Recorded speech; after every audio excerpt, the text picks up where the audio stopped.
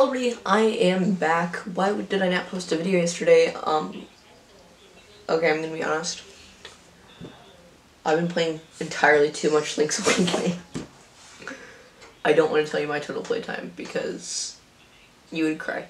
Um, but today I am back and I thought, well, since I didn't do a video yesterday, I'll make a custom figure showcase today with two figures uh, that are within the same theme kind of. So today we'll be taking a look at my custom Arkham City Ra's al Ghul and uh, Talia al Ghul. So let's jump right into it with Ray.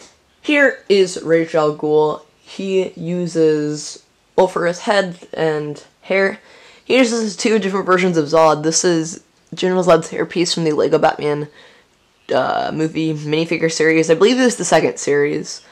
Um, that figure's not worth that much. And then the General Zod from was it 2015 when Man of Steel came out? Is that was that 2014? Whatever. Uh, the Man of Steel version is odd. um, but not the side with laser eyes. The other side has laser eyes, I think.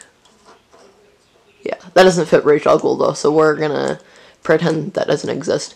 Um, but then we have a dark green cape. I believe I get this cape from a 2010 Harry Potter set, like the Quidditch one. And I gave him bare arms and hands, just a gold sword for, you know, Rage's iconic sword.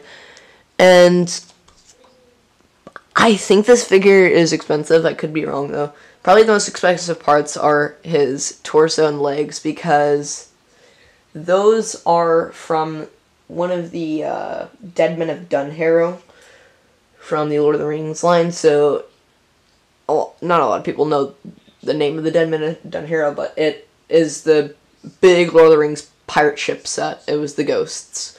Um, it was one of, one of the ghosts' torso and legs, but yeah. So if you're trying to make it like I am, that might cost you a little bit. I'm not completely sure though. But let's just move on to Talia. Here is Talia al Ghul um, in Arkham City.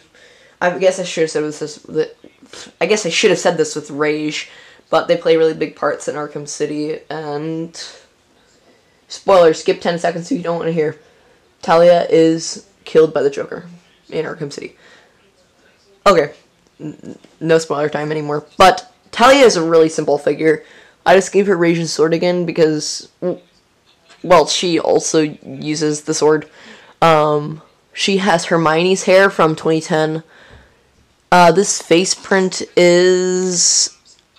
Oh, it's Wonder Woman's. Yeah, it's like the 2015 Wonder Woman's. Um, maybe it's the 2012 Wonder Woman. Whatever, just any Wonder Woman you have, the face works. The body is actually Lady, Lady Iron Dragon from the Lego Ninjago movie. I gave her uh, silver chrome arms. Not uh, the gunmetal, but gunmetal actually probably might work better. I'm not sure, but and then I just gave her regular black, black legs.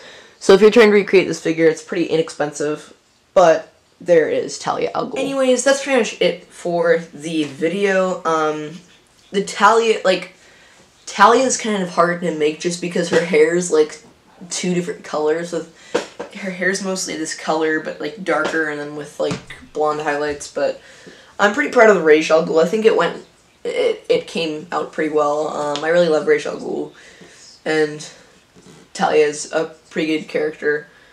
But like I was saying, that's pretty much it. So thanks for watching. Make sure like, subscribe, and click the bell so there's a video. Don't be curdled, and peace out.